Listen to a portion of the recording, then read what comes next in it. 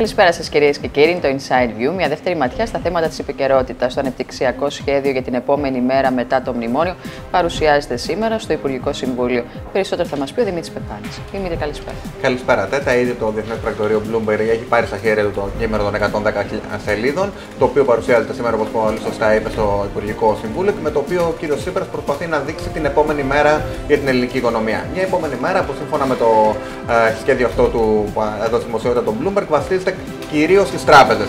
Ουσιαστικά το σχέδιο αυτό προβλέπει τη μετατροπή των ε, τραπεζών σε μηχανή της οικονομίας, όπως ήταν στην πραγματικότητα και πριν ε, την κρίση. Βέβαια, δίνοντας έμφαση σε άλλα στοιχεία και όχι τόσο στα καταναλωτικά δάνεια και στα πιστοτικές κάρτες όπως είχε γίνει τότε, αλλά σε μια λογική επενδυτικών ε, τραπεζών, μια λογική ε, σεπτή διαχείρισης ε, των οικονομικών τραπεζών, αλλά και σωστής τροφοδότησης της οικονομίας με νέο χρήμα. Προκειμένου να γίνουν αυτά, βασικό κομμάτι είναι η κεφαλαϊκή ενίσχυση των συστημικών τραπεζών, οι οποίες αντιπροσωπεύουν και το 96% ουσιαστικά αυτή τη στιγμή του τραπεζικού επιχειρήν στην ε, χώρα μας.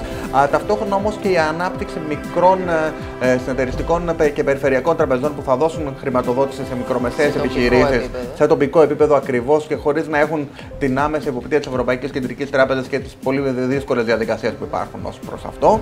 Η ιδιαίτερη μνήμα δίνεται στο κομμάτι των κόκκινων ε, δανείων, τα οποία ούτως ή άλλως ε, και με βάση τις ε, συμβατικές υποχρεώσεις των τραπεζών θα πρέπει να ρυθμιστούν και μάλιστα χωρίς να το λέει ευθέως, το αναπτυξιακό αυτό σχέδιο φλερτάρει με τη δημιουργία μιας κρατικής bad bank, μιας ουσιαστικά την περιγράφει ως μιας εταιρεία διαχείρισης περιουσιακών στοιχείων, στην οποία θα πάνε τα, κάποια, κάποια από τα κόκκινα δάνεια των τραπεζών. Με άλλα λόγια, μια bad bank.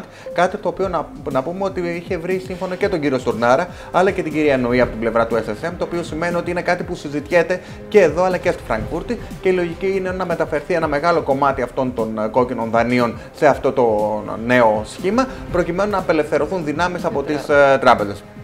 Επίσης, βασικό κομμάτι είναι η άρση των ε, capital control, καθώς και σε επιχειρηματικό επίπεδο αποτελεί πολύ μεγάλο τροχοπέδι για την ε, ανάπτυξη της οικονομίας αλλά και για την προσέλκυση ξένων επενδύσεων. Σε μια χώρα που υπάρχουν capital controls, είναι πολύ λογικό ξένοι επενδυτές να το σκέφτονται δύο φορές πριν ε, επενδύσουν και ουσιαστικά αυτό το σχέδιο περιγράφει μια ομαλοποίηση του τραπεζικού συστήματος, το οποίο με τη σειρά του έτσι μπορεί να δώσει χρήμα στην πραγματική οικονομία, ούτως ώστε αυτή να αναπτυχθεί.